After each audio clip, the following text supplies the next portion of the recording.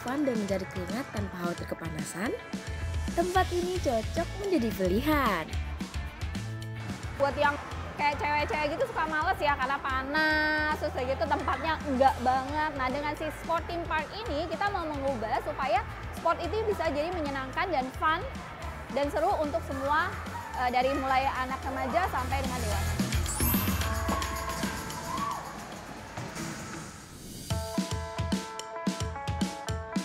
Kebiasaan masyarakat Indonesia yang malas berolahraga saat ini patut menjadi alarm. Bahkan, kebanyakan orang lebih senang menghabiskan waktunya dengan dunia maya. Eits, tapi tunggu dulu. Hal tersebut ternyata bisa diatasi oleh tempat yang satu ini loh. Ya, menggunakan teknologi yang menggabungkan antara olahraga dan realitas maya menjadi sebuah permainan, tempat ini sukses menarik perhatian masyarakat sebagai alternatif tempat hangout sekaligus olahraga yang menyenangkan.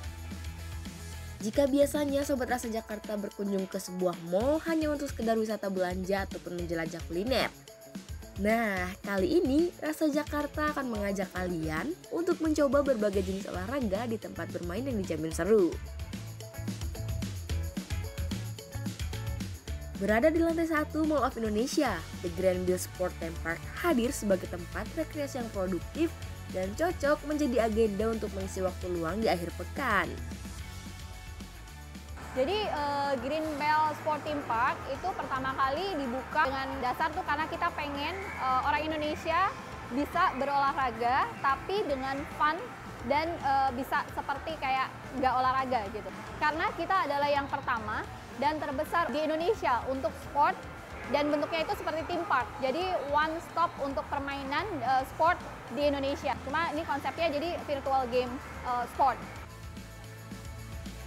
Di sini, Sobat Rasa Jakarta bisa menikmati berbagai jenis olahraga secara maya menggunakan peralatan teknologi yang digabungkan dengan layar sensor sehingga menghasilkan permainan yang tampak nyata dan seperti berolahraga sungguhan. Jika berkunjung ke sini, kalian tidak perlu khawatir merasa bosan karena The Greenbelt Sport Theme Park ini menyediakan banyak permainan loh. Nah, seperti yang bisa langsung Sobat Rasa Jakarta temukan saat datang ke sini, Ya, soccer. Siapa sih yang tidak tahu jenis olahraga yang satu ini? Menendang bola ke arah layar seakan sedang bermain bola di lapangan.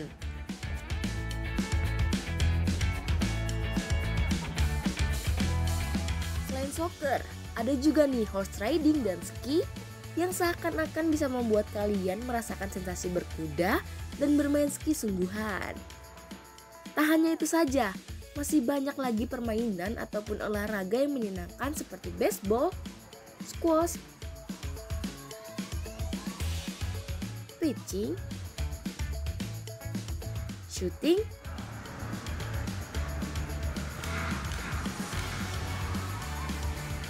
action racing,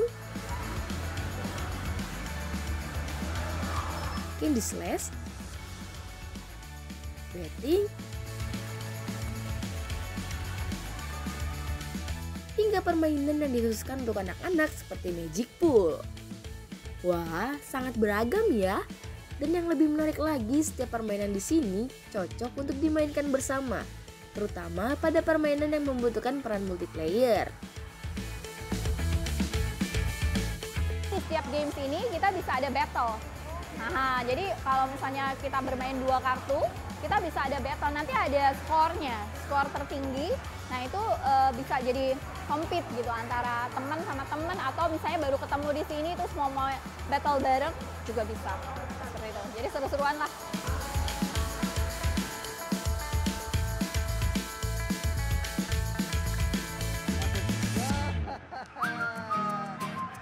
Untuk menikmati permainan di sini, Sobat Rasa Jakarta perlu membeli tiket dengan harga mulai dari Rp30.000 untuk hari kerja dan Rp36.000 untuk hari libur.